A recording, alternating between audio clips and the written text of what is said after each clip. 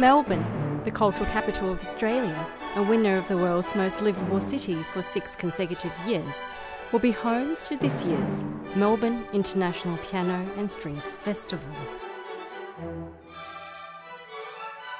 Participants at the festival will have an opportunity to study with Australia's leading teachers, including Associate Professor Kenji Fujimura, Ms. Tamara Smolyar, and Ms. Lisa Grosman from Monash University, as well as Mr. Matthew Tomkins and Ms. Miranda Brockman from the Melbourne Symphony Orchestra.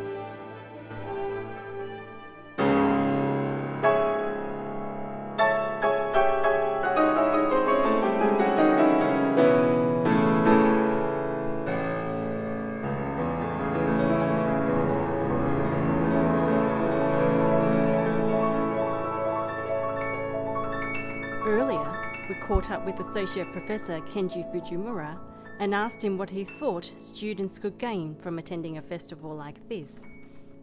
Here is what he had to say. There are many benefits of attending a festival such as this one.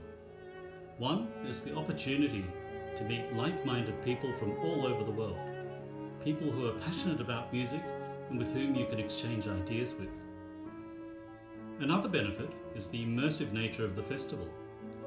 The festival provides an opportunity for students to escape their normal daily routine and allows them to focus on developing their musical skills through participation in masterclasses, workshops, and performances under the guidance of experienced mentors.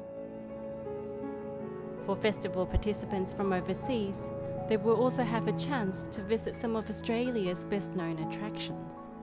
What better way to finish an intensive week of musical activities than to relax and experience the magic of Australia?